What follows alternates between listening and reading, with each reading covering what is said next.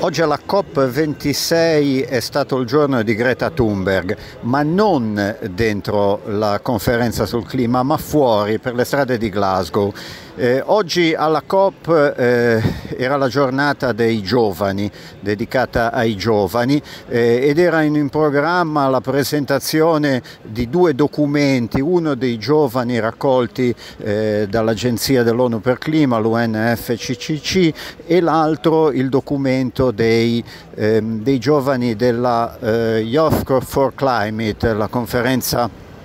dei giovani sul clima voluta dal governo italiano a Milano.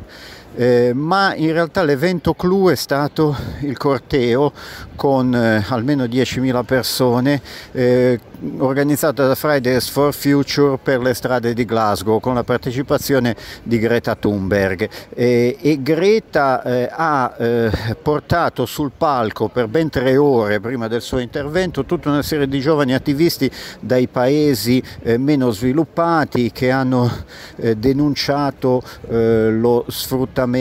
eh, dei loro paesi.